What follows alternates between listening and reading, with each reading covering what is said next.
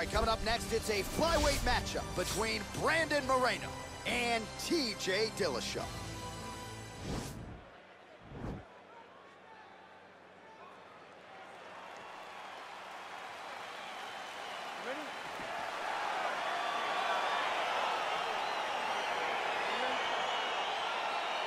Right, so here we go with round one.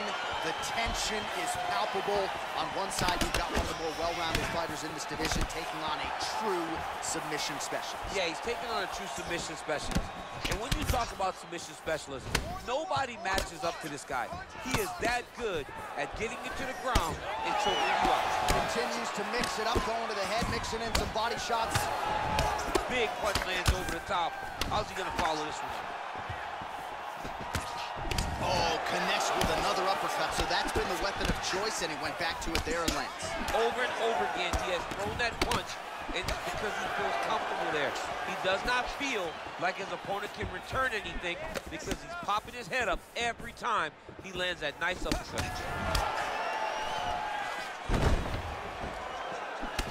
Misses again with a right punch. Well, perhaps a sign of things to come as he lands a kick there. Nice kick landed by this gentleman.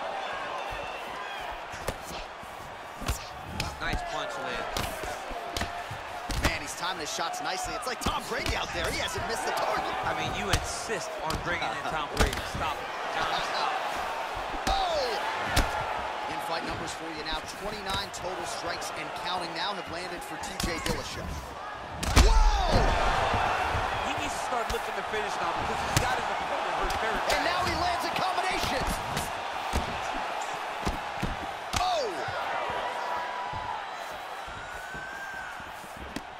There he goes working off that jab again. How's, oh, and there's the double leg takedown, DC. That is just too good, too easy.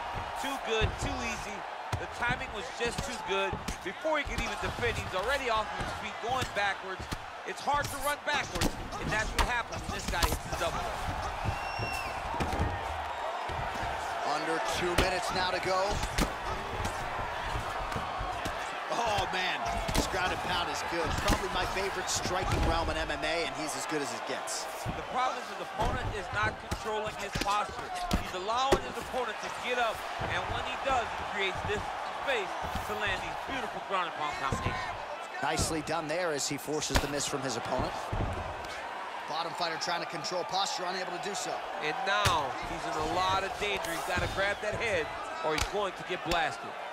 Oh, the ground and pound strikes continue to rain down. The opponent better move out of harm's way or the referee's going to stop this. He better start to move. And when his opponent starts to posture, he needs to put his feet on the hip, push him away to try to escape this very, very dangerous position. Nice punch by Moreno. Starting to do some really significant damage to the body here. Another strike lands there. Final seconds. Over and over, he's landing these big body kicks. Round two next.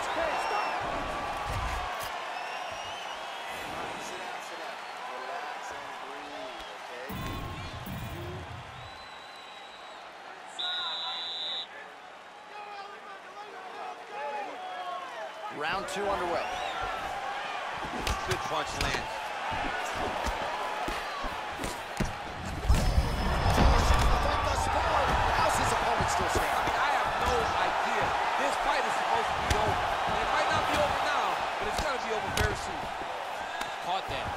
There's danger in that, too, because when you start reaching out to catch that kick, here comes the high kick, and then you're in a lot of trouble. Some real power shots here. Oh, straight right.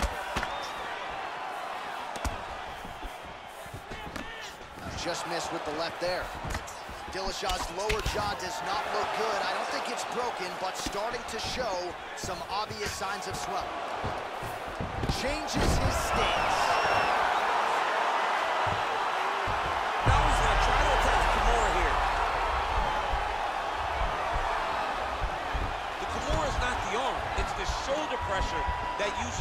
Tap.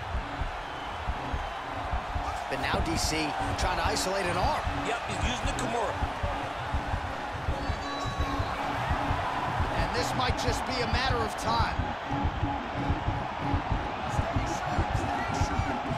Not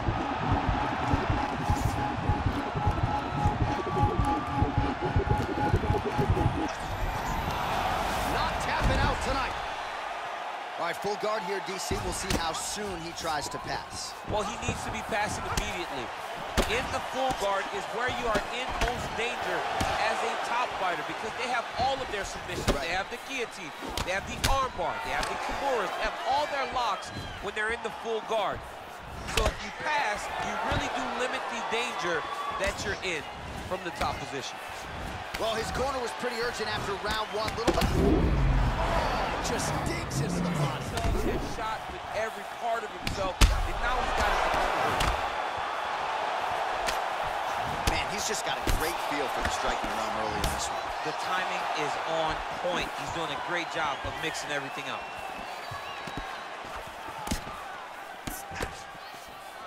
Look at him drive his shin into his opponent's body with that body kick. Well, he's got the kicking game going tonight. Lands another one there. A beautiful kick, and all I can think of, better him than me. Stuffs the takedown, no problem. Oh, and he hip tosses him to the mat. Now we'll see what he can do from here, DC. Right into side control. He's gonna try to control him, then find a submission. Well, you know I don't like the gi very much, but I have an appreciation and a healthy one for these type of transitions. You can tell he's been in a gi at some point in his life with the way that he moves so freely. I'm skipping jujitsu next week, too. Moreno gets back up. And now his opponent in a world of trouble. Such a sneaky head kick. He did not recognize it was coming high, now he's got him hurt bad. Entertaining scrap so far. All right, so there's the horn signifying the end.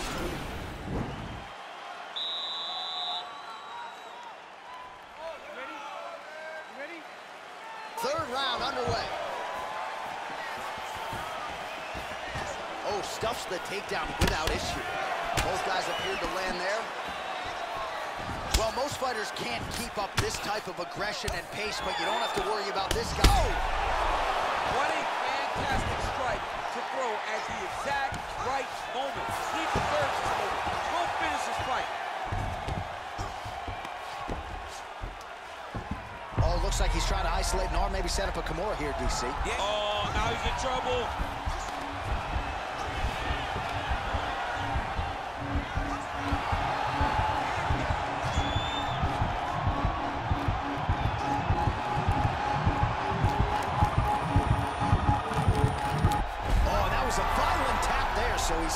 Him with the armbar. I mean, just steps ahead of the competition. Where you're playing checkers, he's playing chess in the ground fighting. And it showed tonight in this big submission victory.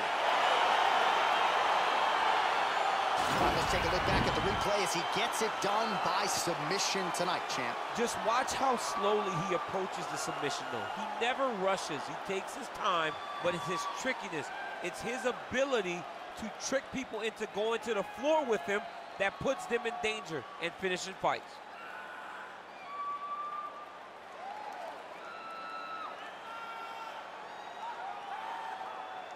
So there he is, your winner by submission. That is a finish they will likely be talking about for some time.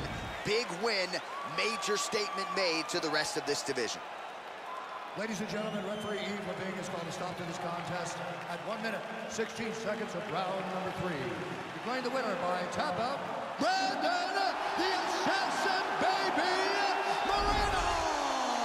All right, so there he is, all smiles and rightfully so after he gets the job done by submission tonight. You told me off the air before the fight that he was going to submit him, and that's exactly what happened, man. I mean, you